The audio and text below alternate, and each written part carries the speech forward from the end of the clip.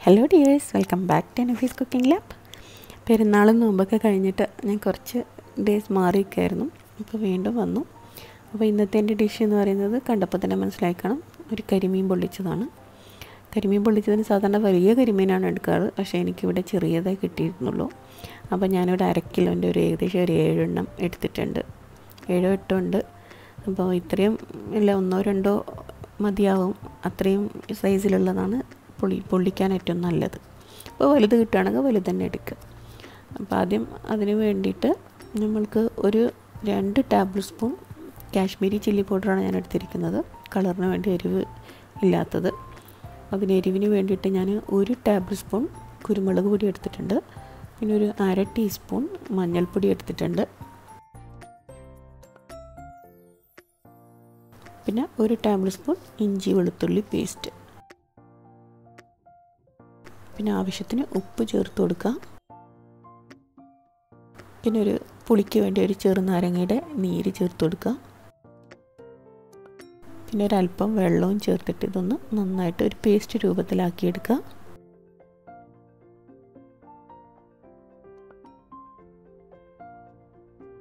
ഇനി ഈ പേസ്റ്റ് നമുക്ക് മീനിലേക്ക് ഒന്ന് നന്നായിട്ട് പിടിപ്പിച്ചു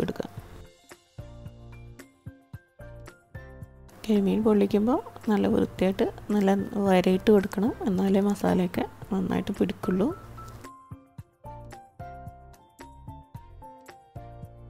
ഈ മാരിനേഷൻ മേലിൽ നന്നായി പിടിപ്പിച്ചിട്ട് ഒരു അഞ്ച് മിനിറ്റ് മാറ്റി വെക്കുക.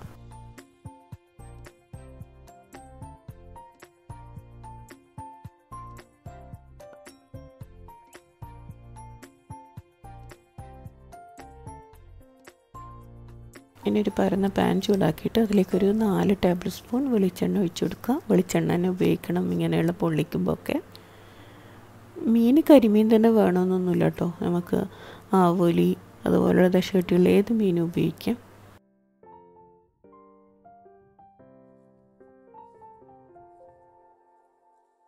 ഇപ്പം മീൻ നന്നായിട്ട് രണ്ട് സൈഡും ഒന്ന് മൊരിച്ചെടുക്കുക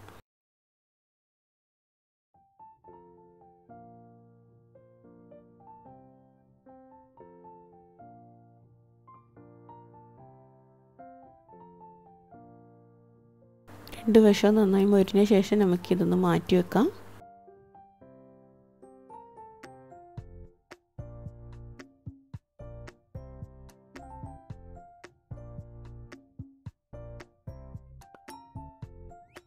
ഇനി അതേ എണ്ണയിൽ തന്നെ ഒരു ടേബിൾ സ്പൂൺ വെളിച്ചെണ്ണ കൂടി ചേർത്ത് കൊടുത്തിട്ട് നമുക്കിതിലേക്ക് ഒരു കപ്പ് ചെറിയ ഉള്ളി അരിഞ്ഞത് ചേർത്ത് കൊടുക്കുക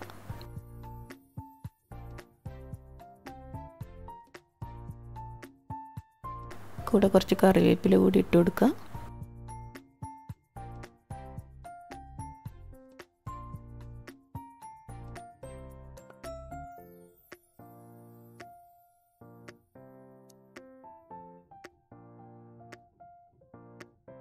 ഉള്ളി ഒന്ന് ചെറുതായൊരു പത്ത് ഒരു മുപ്പത് സെക്കൻഡോളം വഴറ്റിയാൽ മതി.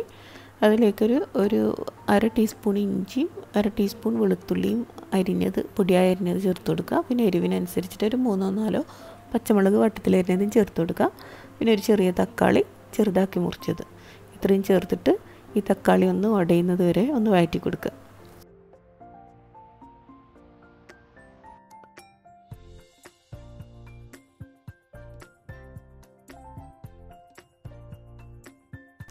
തക്കാളി വഴന്ന ശേഷം അതിലേക്ക് ഒരു teaspoon chilli powder Kashmiri chilli തന്നെ ചേർത്ത് കൊടുക്കുക. പിന്നെ ഒരു അര ടീസ്പൂൺ മഞ്ഞൾപ്പൊടി ചേർത്ത് കൊടുക്കുക. പിന്നെ ഒരു അത്യാവശ്യത്തിന് ഉപ്പ് മീനിൽ ഉപ്പ് ചേർത്തിട്ടുണ്ട്. അതുകൊണ്ട് കുറച്ച് ഉപ്പ് മാത്രം ചേർത്താൽ മതി. ഇതൊന്ന് വഴറ്റിയ ശേഷം ഇതിലേക്ക് നമുക്ക് ഒന്നര കപ്പ് നല്ല കട്ടിയുള്ള തേങ്ങാപ്പാൽ ചേർത്ത് കൊടുക്കാം ഈ പൊളിച്ചത് തന്നെ പലതരത്തിൽ ഉണ്ടാക്കാറുണ്ട്. ചിലവർ തേങ്ങാപ്പാൽ തിളക്കാൻ അനുവദിക്കാതെ അപ്പം തന്നെ തീ ഓഫ് ചെയ്യാറുണ്ട്. പക്ഷെ ഞാനിവിടെ തേങ്ങാപ്പാൽ തിളച്ച് നല്ല എണ്ണയൊക്കെ പുറത്തേക്ക് വരുന്നത് വരെ ഒന്ന് വറ്റിച്ചെടുക്കുകയാണ് ചെയ്യുന്നത്. ഒക്കെ തിളച്ച് വറ്റി എണ്ണയൊക്കെ തെളിഞ്ഞ് വന്ന ശേഷം നമുക്ക് തീ ഓഫ് ചെയ്യാം. ഇനി നമുക്കിതെങ്ങനെ പൊള്ളിച്ചെടുക്കുന്ന നോക്കാം. ഇതുപോലെ ഒരു വാഴയിൽ എടുക്കുക. അത് നന്നായി വാട്ടി അതായത് ഒന്ന് ചൂട് വാട്ടിയെടുത്ത് തുടച്ച ശേഷം അതിലേക്ക് സപ്പോർട്ടിങ്ങിന് വേണ്ടി അതായത് കീറിപ്പോവാതിരിക്കാൻ വേണ്ടി ഒരു ചെറിയ വാഴയിലൂടെ നടുക്ക് വെച്ച് കൊടുക്കുക എന്നിട്ട് അതിലേക്കൊരു മീൻ വെച്ച് കൊടുത്ത ശേഷം അതിന്റെ മുകളിലായിട്ട് നമ്മൾ തയ്യാറാക്കിയ മസാല ഒഴിച്ചു കൊടുക്കുക.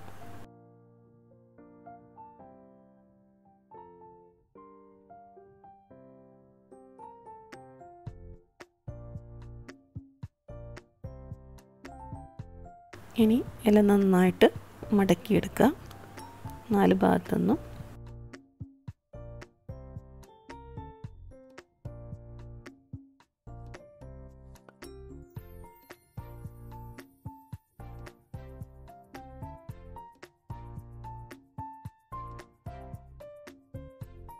ഇനി ഇതുപോലുള്ള ഇരുമ്പിന്റെ തവ ചൂടാക്കുക.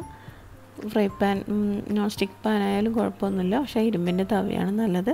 അതിലേക്ക് ഇത്തിരി വെളിച്ചെണ്ണ ഒഴിച്ചെടുത്ത ശേഷം നമ്മൾ വാഴയില നല്ല തീയിൽ ഒരു മൂന്നോ നാലോ മിനിറ്റ് രണ്ട് സൈഡ് ഒരു പൊളിച്ചെടുക്കുക.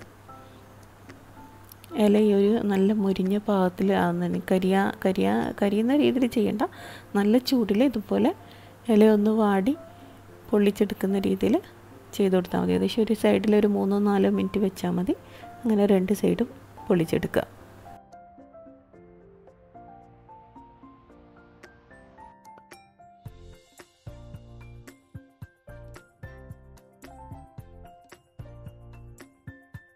അപ്പോൾ നമ്മുടെ കരിമീൻ പൊള്ളിച്ചത് റെഡിയായി.